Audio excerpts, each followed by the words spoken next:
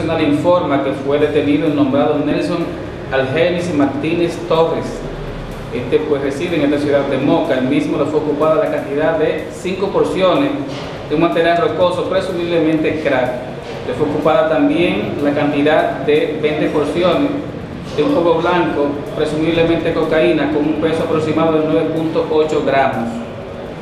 También fueron detenidos los nombrados Alberto Núñez Martínez y Johnny Luis Pies, de nacionalidad haitiana. Ambos residen en esta ciudad de Moca y le fue ocupada la cantidad de 6 porciones de un polvo blanco, presumiblemente cocaína, con un peso aproximado de 6.3 gramos.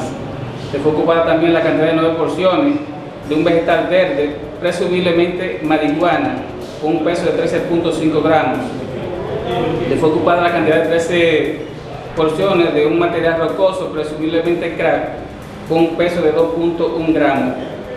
Todas estas personas, los tres, en diferentes sitios y por el, hecho de haberle ocupado droga, han sido enviados ante el Ministerio Público para que estos respondan por este hecho. Estas son las informaciones que tiene la Policía Nacional de esta ciudad de Moca para todos los televidentes.